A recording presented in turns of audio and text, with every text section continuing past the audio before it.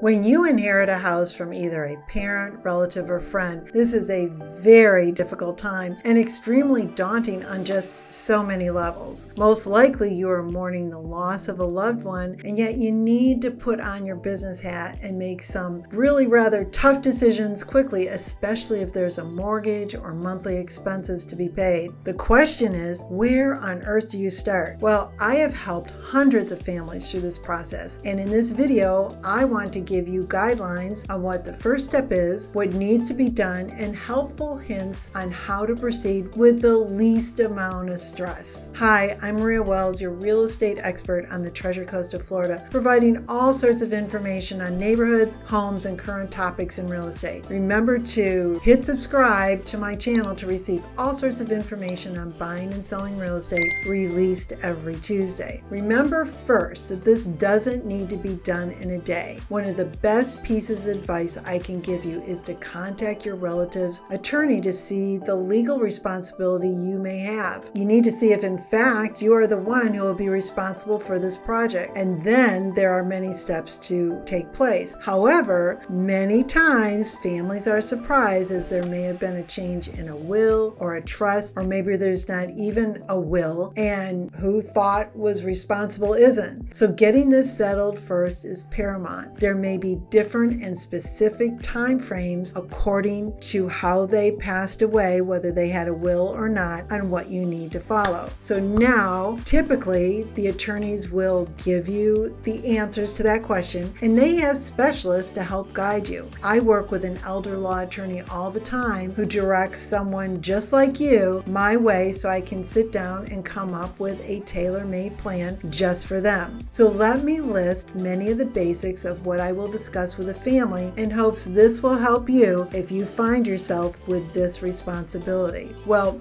after the discussion with the attorney and once you know the time frame this all needs to happen and if the home needs to be made ready for sale, then this is what I would discuss with a trustee or personal representative. That's what you would be titled if you are the one responsible and how to begin. Well, if it needs to be sold as soon as possible, you may want to rent a storage unit for safekeeping of some items, especially if there are multiple heirs, they're not local, and it may take a while for them to come and retrieve the items. This way, the house isn't waiting to be sold. They can come get them in the storage unit when it is best suited for them. It is better to clean out the house before putting it to sale so it looks fresh, clean, and not cluttered with all of the belongings. This is also a time to rustle up some help, whether it be friends, relatives, professionals. Trust me, it's a bigger job than you think. So here we go. First, you need to identify legal documents. That would be things like closing papers from the home, insurance policies, bank information, tax filings, investments, anything that would be tied to money. If you have a question about it, just keep it. You may want to place all of these items in a box to sort out at another location. Now remember, you must keep most of these things for seven years. But if you come across that there's old bank statements and tax returns from the last 10 to 15 years, put that in another box for shredding. And depending on how much you have, there are bulk shredding companies that you can pay for by the box when you are done. Next, the last wishes for the heirs. Well, if you've been provided a list of heirs and what was going to go to them, put tags on those items and set them aside. I recommend using color coded sticky dots like the bigger ones, and everyone gets their own color. So it's easy to identify who gets what. And if the heirs are not local and you may need to pack these items up, it's going to make it a lot easier just to get everything by whatever color coding it is. Next, you need to look for valuables. That is jewelry, gold, silver that may be in the house. Well, I recommend that if this is to be divided between so many people, that this be done first and if at all possible while you're together. Because if it's done first, people tend to work much better in the beginning. And that's usually the hardest thing to decide who gets what. So you might as well get that out of the way. Next is the mementos and sentimental items. So this actually slows things down because it will bring back so many memories and sometimes it really pulls at your heartstrings. It's one of the most difficult things to do. So you may want to get all the mementos and sentimental things, place them in another box to go through at another time. I can tell you, I did that when my mother passed, and it took me a year or so before I could really go through all that and sort of look at it and sort through it. So you might want to think about that. So, what do you do with all the photos? Now, that generation tends to have photo albums and so much stuff kept on paper, where ours are mostly digital. So, at this point, you need to put the photos in another area or a box, and there are ways down the road, whether you want to scan them, make a collage, and maybe there's some special photos you would like to give to a family member, but today isn't the day. Put that in a box for a rainy day. Next is you'll sort out the cabinets and drawers. Well, this becomes one of the most tedious functions. So I recommend having like four areas of the house to make it easier as you're working through it. So one area would be for donations. Make that close to the door so you can take them out to your car or have them picked up. Another area for relatives or friends that they may take. Another area to throw out if it's a home. I recommend putting that in the garage so that's easy to take out when the time comes.